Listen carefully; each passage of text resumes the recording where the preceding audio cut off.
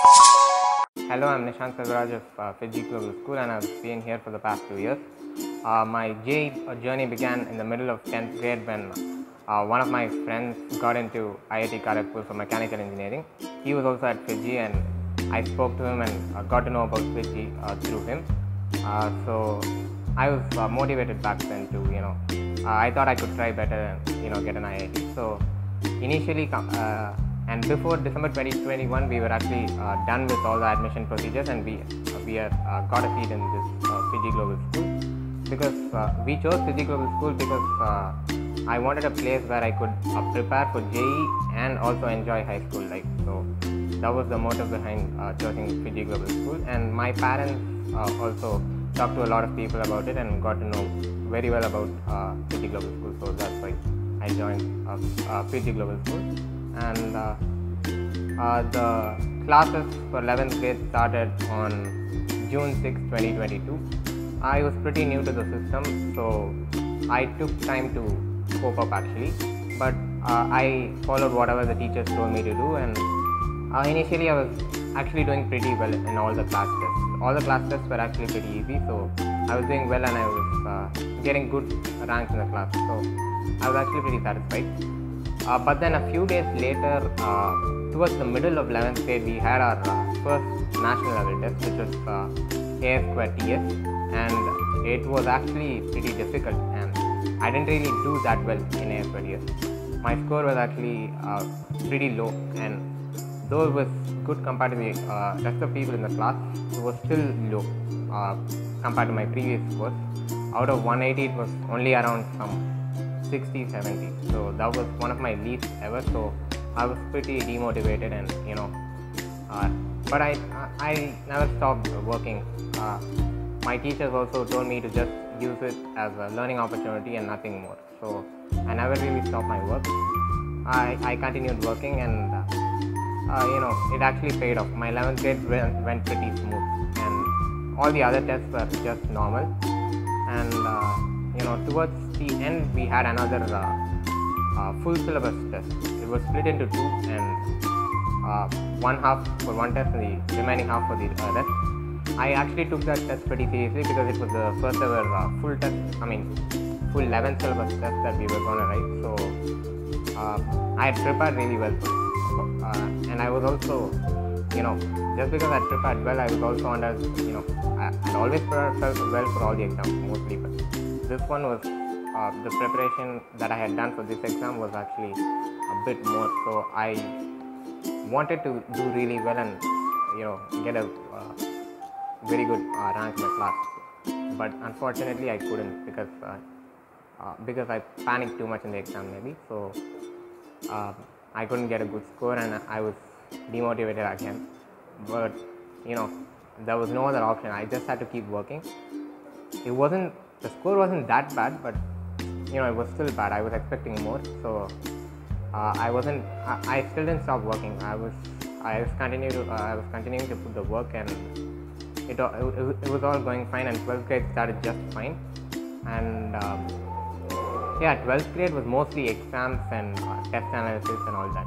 Uh, and before the exams, I used to solve the uh, coaching uh, materials given by FIITJEE vigorously, like the package, archive, tab assignments, mostly because back then I didn't know about any other external reference book or anything. So I was till uh, I would say the middle of 12th grade, I was just sticking to the FIITJEE material.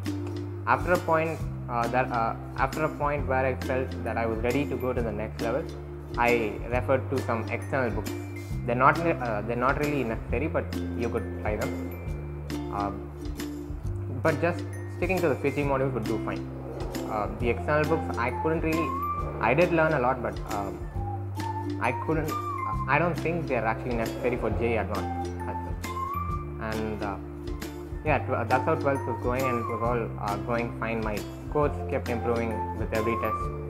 And the most important thing was not the test; it was actually the test analysis sessions that we had after the test. That's where we got to learn the most. Uh, after the test, uh, the our day day would start with the test. It was a three-hour test, and after the test, uh, we would discuss among friends. You know, uh, we would try to get the questions that we couldn't get in the exam, and the ones that we still don't get, we go to the teachers for them and they clarify all our doubts. So we got to learn a lot after every test actually, and our, my score also kept improving with uh, all that. Uh, with every test, my score kept improving actually. But then one one good day we had this exam called RDX where was just absurdly difficult and and I could not even attempt like uh, four to five questions per subject, and it, went, it went like really bad. I was completely demotivated and I didn't even want to study after that. Uh, but then after that, I spoke to my teachers and they told me not to worry that much because the level of that paper is uh, made that high on purpose. So it's better if you just take it as a learning opportunity uh, rather than uh, focusing on the scores that you get. And uh, yeah, that's how I took it, and I tried to make uh, make the best out of it. I also asked my teachers the doubts that I had from those papers and got them clarified. I I learned a lot of new methods solving uh, solving that paper and doing the test analysis. So that's why the test analysis is also very important. And in every test analysis session, you will um, you'll find that uh, when you discuss with your friends or your faculty, you'll find that everyone has a different outlook on the question, and each person has a different method of solving that question. So you'll at least learn four to five methods from for every question that you solve. And out of them you could pick the best one. I mean what whatever you feel would be easy for you you could pick them. And next time you face a question like that you could use that method. So that's what i did. And yeah 12 it just kept going with all those exams and stuff. And all of a sudden we were in uh, december. Just one month left to JEE main session 1 and yeah we started uh, full-fledged preparation for JEE main with a lot of tests. And uh, i guess we had written at least uh, uh, 30 40 tests. No that, uh, that was that's actually pretty less more than that. 50 60 tests before JEE main session 1 itself each uh, and we also did proper test analysis for all the tests and for JEE mains I also studied uh, NCERT vigorously because that's obviously um, you know required for JEE mains and yeah I did uh, well in JEE main session 1 not that well but I I did well there. Uh, 99 point, I scored 99.33 percentile in JEE main session 1. I wasn't that happy, but yeah. Um, after that, after JEE main session 1, I was uh, preparing full fledgedly for uh, JEE advanced for around uh, uh 20 25 days, and then uh, came this uh, CBSE board exam. So I had to prepare for that. But uh, you know, um, I didn't really prepare separately for the CBSE board exam because in the class itself we were uh, we we didn't really um, the teachers didn't really teach us uh, JEE and uh, CBSE syllabus separately. It was it all went hand in hand actually because uh, they just thought of the subject as a whole in in various depths. That's all, not uh, separately and CBSE separately. So I didn't really have any problem. It was uh, it was just uh, I just went through NCERT a few times and that was all. I didn't even solve any uh, previous year papers or anything for the board exam. Uh, yeah, I obviously did for computer science and English, but not for the PCM subject. So uh, that's how the board exam went. And just two days after the board exam, uh, we had um, JEE main session two. Yeah, uh, two days. JEE main session two, and yeah, I didn't prepare separately for JEE main session two. I hadn't revised NCERT properly, but yeah, I managed to do well in session two, do better actually better than the first attempt and I secured uh, 99.48 percentile and uh, after JEE main session 2 was done the only exam that was left was uh, JEE advanced so uh, yeah, uh, I prepared vigorously for it and I spent a lot more time for JEE advanced and I was doing questions after questions after questions from uh, I was uh, redoing the package, redoing the archive, and most importantly, we got a book called the Grandmasters package towards the end. I was also focusing a lot on it because after you're done with the package and the archive, uh, the only thing that's left for you is those additional books. That's when you could actually try to solve those, uh, uh, get some extra edge over the others using those hard questions that you get from other reference books and you know a grandmasters package like this and apart from that i had also written a lot of uh, aats exams they were all really difficult uh, compared to JEE Advanced. So they actually prepared me for the worst.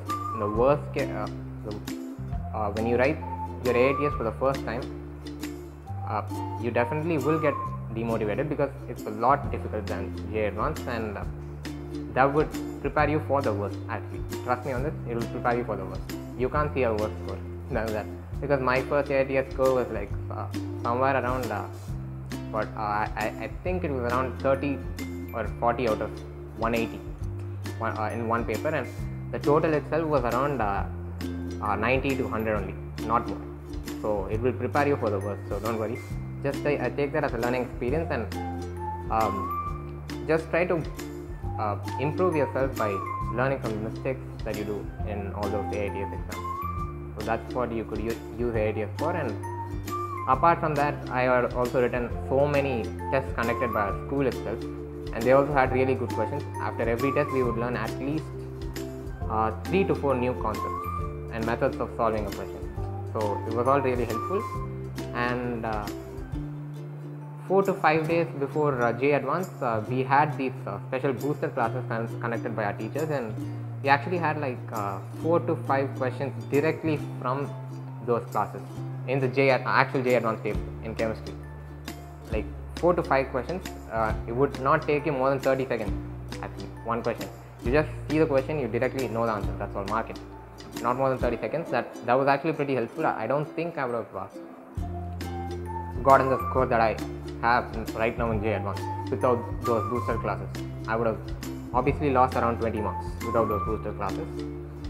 So that was actually pretty helpful and yeah after that we had JEE advanced and it, it went well i managed my temperament well i managed time okay okay not that well but yeah I, I, did manage time actually you know kind of yeah it, it went pretty well. So yeah i did well in JEE advanced and i have a good score now.